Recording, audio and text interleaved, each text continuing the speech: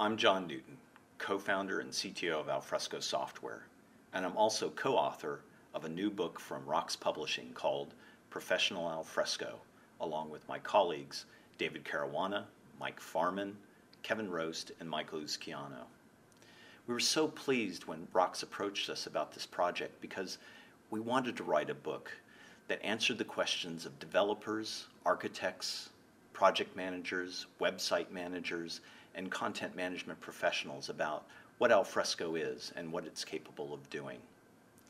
If you're not familiar with Alfresco, it's a cost-effective enterprise content management system that allows you to manage websites, content-rich applications, document management, records management, imaging and scanning. But most importantly, it's freely available using an open source license.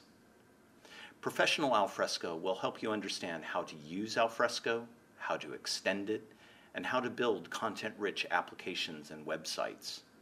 But it also covers the fundamental architecture of Alfresco and provides you with guidance on how you can build content-rich applications and extend websites. It covers content management standards that Alfresco supports, such as CMIS, or Content Management Interoperability Services from Oasis.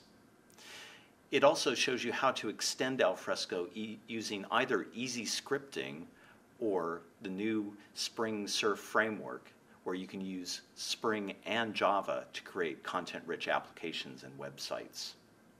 Finally, Professional Alfresco covers integration of Alfresco with other systems and applications such as the Lotus Suite, Drupal, SAP, and the Liferay portal.